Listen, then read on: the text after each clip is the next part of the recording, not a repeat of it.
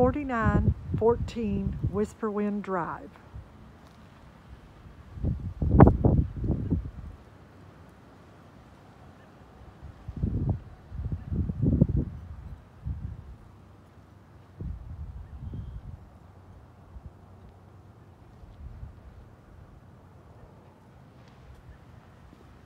Four bedrooms, two bathrooms, and a pool.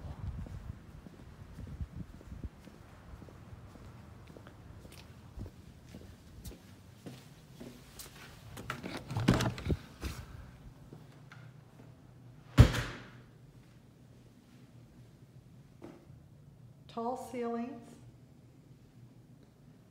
formal dining with tiled floor,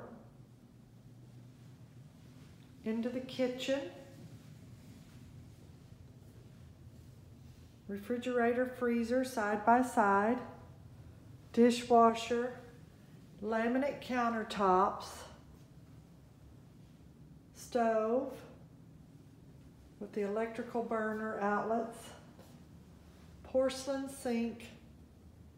It does have damage on the countertop a little bit. This is the breakfast area. A little bit of a breakfast bar here. A little bit of a patio. Pool surround all the way around. It is a liner pool. But the pool surround's in pretty good shape. And it does have the extra tall fencing across the back.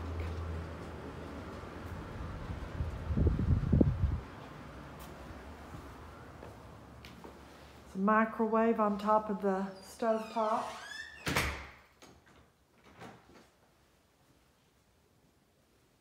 You've got a wood burning fireplace. It looks like it has a gas key, but somebody must have turned it into wood burning at some point. You've got speakers that are in the wall. You've got double crown molding all the way around the top in the dining and living area. These are the secondary bedrooms. First one up here toward the front gets a lot of natural light with a closet.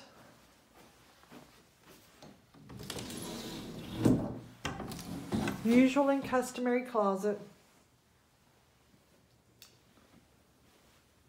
But loads of natural light in here. Then you've got second bathroom. It does have carpet here on the flooring that needs to be removed. Hallway. bedroom here.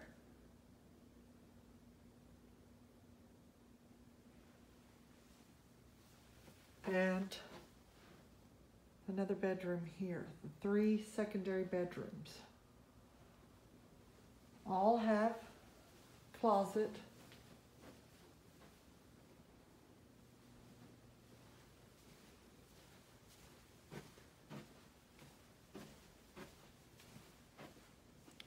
Over to the master bedroom. You've got your laundry room straight ahead here. Separate laundry room, all tiled. Garage comes off of the laundry room and master. Sprinkler system and a pull down attic.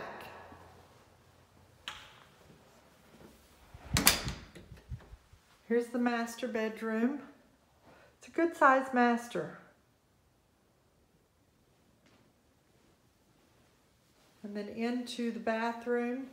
He is uh, talking about replacing the carpet. Has a tub with uh, walk-in closets on either side that flank the tub.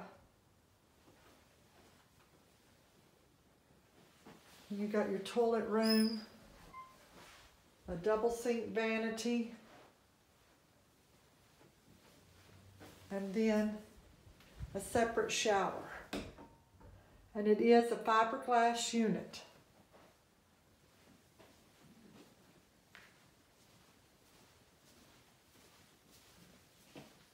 This is just a coat closet here, or a pantry even for your dry goods in the kitchen. And then the entry door.